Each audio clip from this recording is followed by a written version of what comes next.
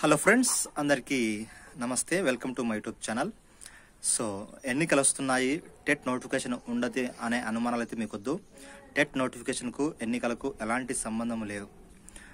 టీచర్ల బదిలీ పూర్తి అయిన కారణంగా మనకు త్వరలోనే టెట్ సిలబస్ అలాగే నోటిఫికేషన్ వచ్చే అవకాశం ఉంటుంది కాబట్టి ఎవరు నిరాశపడవద్దు. టెట్ అండ్ ఎన్నికలకు ఎలాంటి సంబంధం ఉండదన్నమాట. సో మనకు ఒకవేళ ఇప్పుడు నోటిఫికేషన్ వచ్చినట్లయితే ఎన్నికలు అయిపోయేలోగా మనకు టెట్ ప్రక్రియ పూర్తి అయిపోతుంది. తర్వాత మనకు డిఎస్సి వచ్చే అవకాశం ఉంటుంది. సో ఎవరు హోప్స్ లూజ్ కావద్దండి ప్రిపరేషన్ అవుతూ ఉండండి. Thank you very much